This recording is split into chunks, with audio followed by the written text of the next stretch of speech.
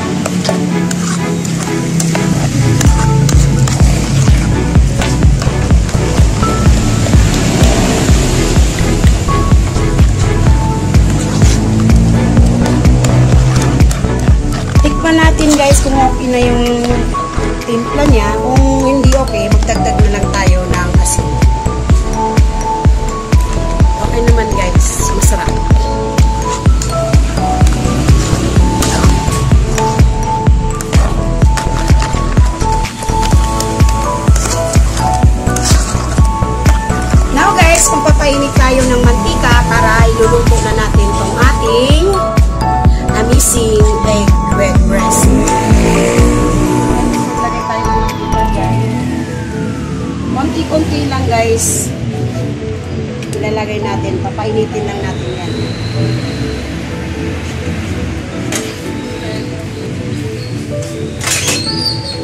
Guys, magtakal tayo ng ating iluluto dyan para pantay-pantay yung kanyang ano guys. Ayan. Ayan. Pantay-pantay ang laki.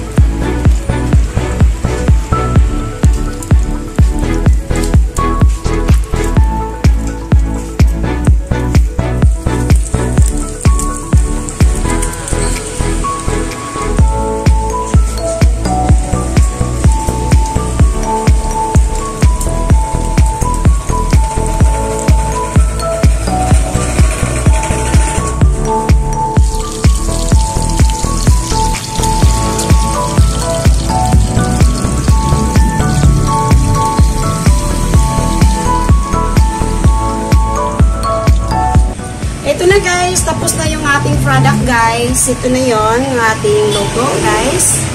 Yan. Napakasarap guys ang ating luto. Yan. Nakagawa pala ako ng sampung layer guys. Sampung layer na egg ang ating nagawa. Yan. Sa 15 pieces na egg.